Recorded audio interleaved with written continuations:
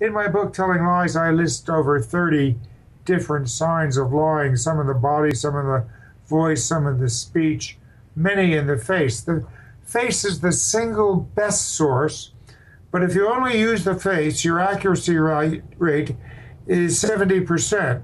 Well, that'll get you published, but it's of no practical use. Yeah, and in that book, you talk about how you've heard the CIA and, and those kinds of institutions are using your work, but you don't know if they're using it properly because they've never really consulted you. Is that well, true? they have consulted me, but Okay. they haven't told me what they're doing. I see.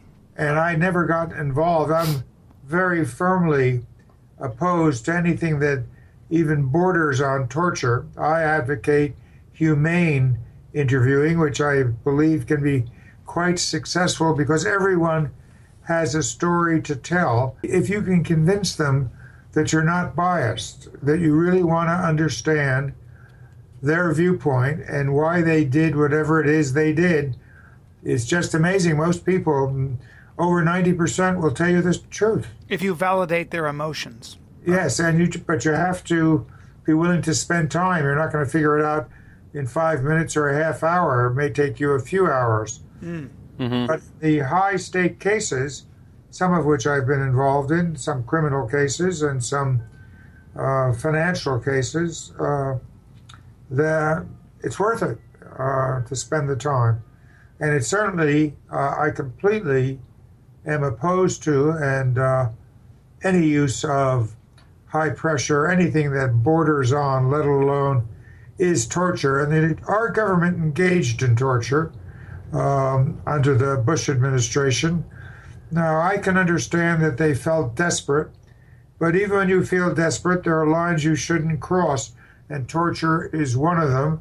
And not only because it's wrong morally, that should, that's sufficient, but it also can give you a lot of false information. Yeah, it doesn't work a lot of times. That's right. And you never know which is which. Yep. So uh, Yep, the better put in the time, do the humane interviewing, uh, and you'll get very good uh, results. Uh, now we live in an impatient culture where people want answers fast, and so that's one of the things that led to the use of torture. I'm ashamed to say that it was figures high up in the American Psychological Association who designed this torture program and got paid for it.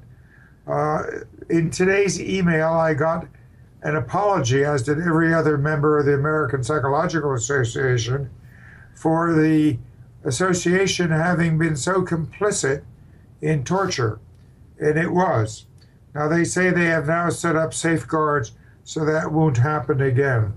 It shouldn't have happened in the first place. And what American people don't know but should feel proud of is that the people who first blew the whistle on the use of torture in Afghanistan and Iraq were Navy officers, Navy lawyers who saw what was going on and said, We won't participate. This is wrong. Mm.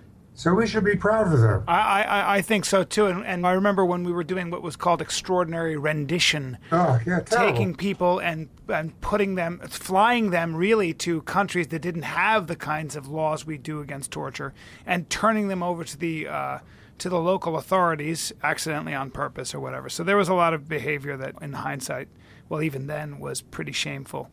Um, and uh, And so I, I, th- I, and hear I what think, you're saying. And I think in terms of your work as well, showing the universality of emotions, it's not once you recognize that you can predict emotionally how your opponents will react. You knew how that was going to be perceived by the Iraqi people and the damage that would do to the U.S. effort there. Well, even whether it will do damage or not, it's wrong. Right. That's and a we have to be a democracy. I think all democracies have to have moral principles at their core. I agree. I couldn't if they agree more. don't, Yeah. then you know they're really not worth uh, sustaining. Well, they can't be there just when it's convenient. I was always told as a kid, you, you it's hard to be to behave like a gentleman when you don't feel like a gentleman. You know? Good, good statement. yeah.